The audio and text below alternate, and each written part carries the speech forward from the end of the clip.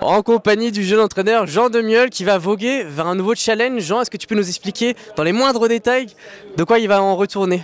Ouais, effectivement, nouveau challenge. Euh, j'ai signé en tant qu'entraîneur privé pour, euh, pour Al Shakab Racing euh, au Qatar. Donc voilà, après l'arc de triomphe, je, me dirigerai vers le Qatar et on fera, on fonctionnera avec 7 mois, 7 mois de course au Qatar et 5 mois de course en France.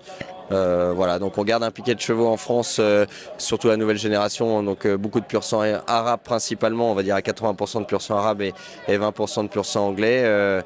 donc voilà, les jeunes resteront en France et puis on ramènera les chevaux qui sont prêts à courir au Qatar, avec pareil un système de 45 chevaux pour l'instant tant que pour l'instant les chevaux sont basés sur les centres d'entraînement public, mais on est en projet, enfin chez Johan en tout cas mon patron est, en projet de construire son, centre d'entraînement privé. Donc une fois que toutes les installations seront terminées, on pourra peut-être augmenter l'effectif euh, à 60 ou 70 chevaux au Qatar et, voilà c'est une belle opportunité. Je sais où je vais dans le sens où j'ai vécu déjà 5 ans au Qatar, donc euh, je connais les lieux, je connais le programme. Euh, je connais bien les purs arabes maintenant. Voilà, la dynamique de Al-Shakab est, très bonne. Ils ont un élevage qui est, qui est absolument magnifique. Donc, euh, non, non, c'est un projet qui est excitant.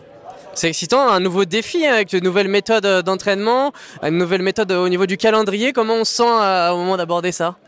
Nouvelle méthode non parce que euh, enfin nouvelle méthode euh, disons que j'ai mes repères euh, sur les pistes là-bas et j'ai mes repères aussi sur ma piste en France mais mais après effectivement le, système sera différent parce que bah, les bons chevaux il faudra manager une carrière dans l'hiver au Qatar et une carrière en France. Donc voilà peut-être courir un petit peu moins et viser des, des courses un peu plus mais mais non c'est excitant et, et, surtout on a une très très belle génération de 3 ans qui sont chez différents entraîneurs actuellement ou bien même à la maison. Voilà on a quelques chevaux qui qui, qui, qui sont qui sont vraiment sympathiques.